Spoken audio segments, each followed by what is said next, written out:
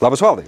Sveikas gyvas. Su artėjančiam šventėm. tave. Visiškai artėjančiam. Jau mes, kai tave dedame eterį, tai arba tai bus penktadienis, kaip priklausytų, o gal tai bus ir šeštadienis, nes mes turim daug medžiagos, mes turim, patys matot, kiek mes turim ir Eugenijus Lastauskas, ir, ir tas, ir tas.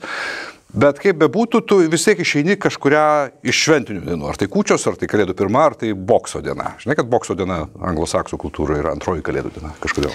Nu, nesu ten daug laiko praleidęs, tai gal nežinau. Герой, ты по просьбам трудящихся, э, интеллигенции, э, сельск- представителей сельского хозяйства, šiandien kalbam apie Čečenijos karą, tik neaišku, kurį, turbūt pirmą būtų logiškiau. Geriau pradėti nuo pirmo visą laiką. jo. Tai klausom. Tai pirmiausia, kas ta Čečienė?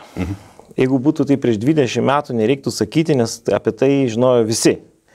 Bet e, manau, kad dabar auga karta, kuri prisimena Čečienijos e, pavadinimą tik tai, kad yra Čečienijos aikštė mhm. ar dar kokie tai tokie dalykai, nes mes dabar apie juos jau labai mažai girdim. Bet e, prieš 30 metų mes apie juos girdėjome labai daug, nes tai buvo valstybė, kuri pasirinko labai panašų kelią, kaip pasirinko Lietuva. Mhm. Bent jau politiškai. Taip. Tai mūsų broliai buvo, tam tikrą prasme.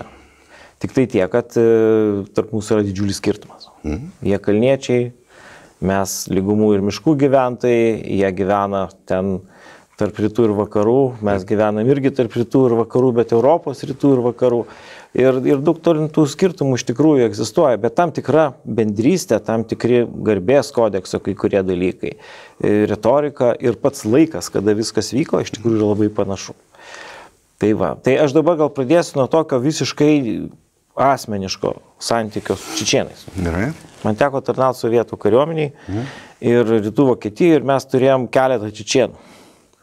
Tai, aišku, jie skirtingi žmonės, vizualiai netgi skiriasi. Nes e, tradiciškai čičienai yra mėlynų akim, reiškia... Ir žambarzdom. Jo, jo, tai jie tokie. Bet aišku, yra visokių kitokių ten žmonių. Tai tie žmonės buvo labai skirtingi, bet vienas buvo jiems bendras bruožas, tai yra karo žmonės. Mhm. Ir vienas vaizdelis tai buvo toks visiškai konkretus, kada mes ten, e, buvo toksai ten žvalgybos tokia e, stovykla, rytų Vokietijai, tokiuose miškuose.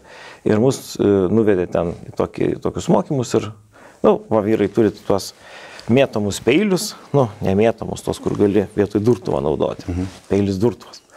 Ir sako, nu, pabandysim va į tą medį pamėtyti. Nu, ir ten visi mėto, ten iš tų 13 mūsų buvo, Vienas, jeigu įsminga, tai jau čia labai gerai, mhm. pataikai jau irgi neblogai.